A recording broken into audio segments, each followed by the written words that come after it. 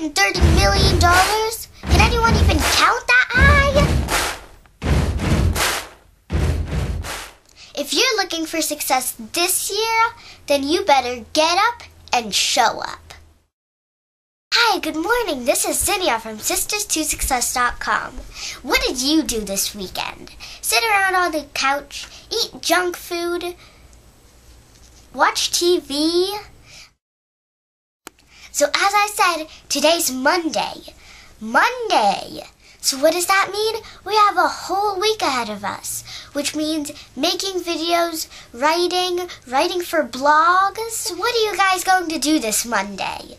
Are you going to sit around going, it's Monday? Or do what you did last weekend? Did I see you guys at the event? So, what do I want you to do? I want you to make a commitment. Take action now. I want to see you at the Wealth Building Annex this Wednesday.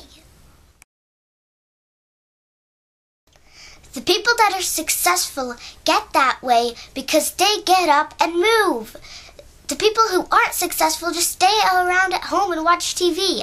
I mean, I want to see you get up and take action now.